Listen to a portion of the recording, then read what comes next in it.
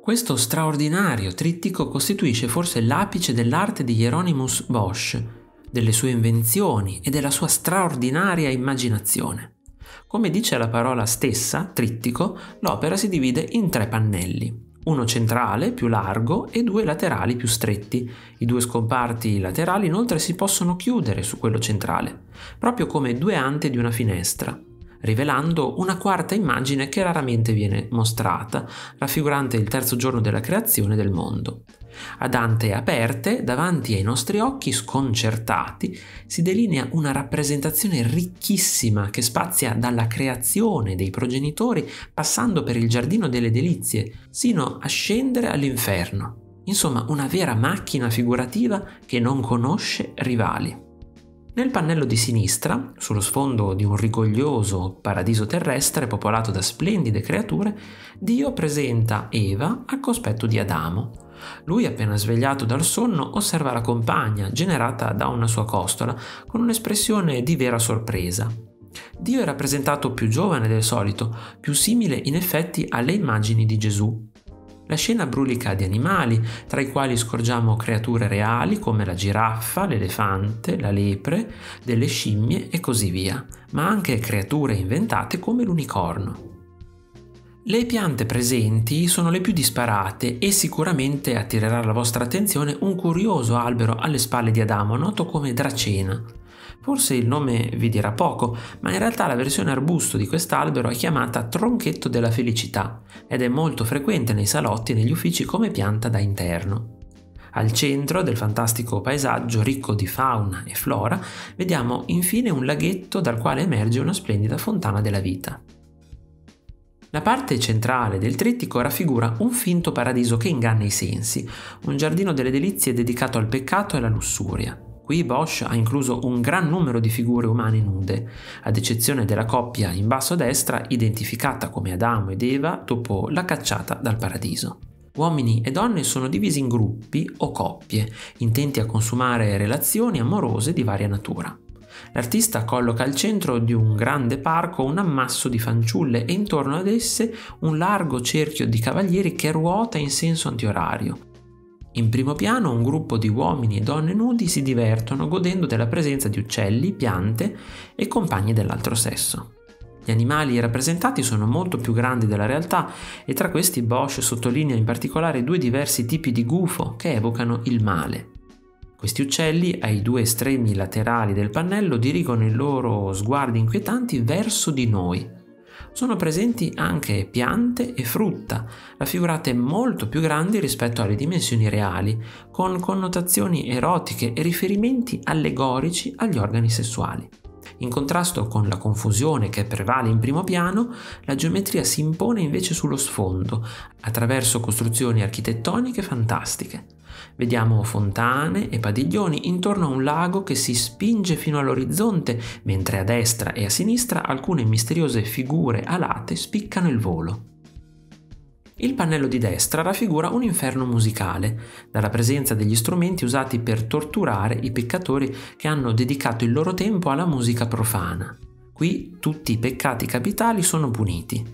Gli avari vengono divorati e immediatamente espulsi dall'ano di una creatura con la testa di un uccello, seduta su una specie di trono gabinetto. I golosi sono castigati nella taverna al centro del dipinto, situata all'interno dell'albero uomo, in attesa d'essere serviti da rospi, diavoli e altre creature sgradevoli. Gli invidiosi invece sono torturati per immersione in acqua ghiacciata. La curiosa taverna uomo al centro dello scomparto ha il torso a forma di uovo, la parte inferiore del corpo formata da tronchi d'albero marci e i piedi appoggiati su barche. In questa parte del trittico Bosch descrive la trasformazione dell'uomo in bestia come meritato castigo al vizio e alla depravazione. Il pittore qui si sofferma come mai prima sulle punizioni dei peccatori, raggiungendo un vertice nella descrizione pittorica delle cose più disgustose e inquietanti. Insomma, un vero guazzabuglio infernale che ancora oggi incute paura e affascina allo stesso tempo. Sul retro delle ante, visibile solo quando il trittico è chiuso, Bosch dipinse la creazione del mondo, racchiusa in un globo cristallino e vista come il terzo giorno della creazione descritto dal libro della Genesi, quando le acque furono separate dalla terra. Questa immagine è realizzata con la tecnica del grisaille, che utilizza solo i toni del grigio, creando dipinti monocromi. Le tre scene dipinte sulla faccia interna del trittico del Giardino delle Delizie, quella normalmente esposta al pubblico, hanno fatto nascere le più svariate e anche assurde teorie. Come spiegare il perché delle immagini rappresentate? Quella più attendibile e ragionevole individua come filo conduttore dei tre pannelli il peccato. In breve possiamo dire che l'intera opera costituisce una predica contro i piaceri della carne e che descrive l'umanità come perduta nel peccato. Si passa infatti dalla nascita del peccato originale a sinistra, alla fine del peccato punito all'inferno a destra, passando per il pannello centrale in cui domina la lussuria. Visti i molti dettagli e le allegorie spesso indecifrabili, siamo portati a pensare che questo trittico non fosse ideato per una chiesa, dove sarebbe stato esposto al popolo, ma per un mecenate laico e intellettuale.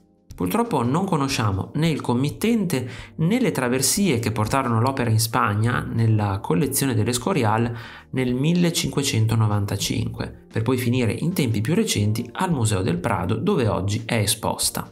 Lo stato di conservazione del trittico del Giardino delle Delizie non è buono, puliture troppo aggressive hanno appiattito molti particolari e figure, ma nonostante ciò la visione d'insieme è ancora stupefacente.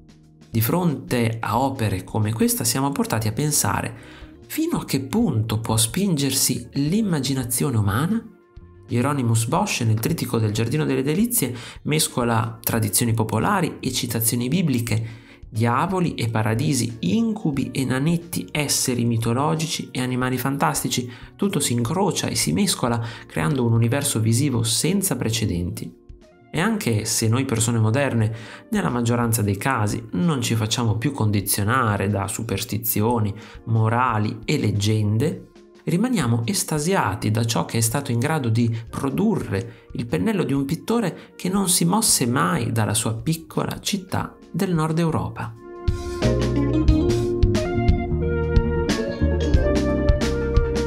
Se il video ti è piaciuto metti un bel like, lasciami un commento, condividilo con i tuoi amici. Ricordati inoltre di iscriverti al canale e di cliccare sulla campanella per non perderti i nuovi video. Ciao!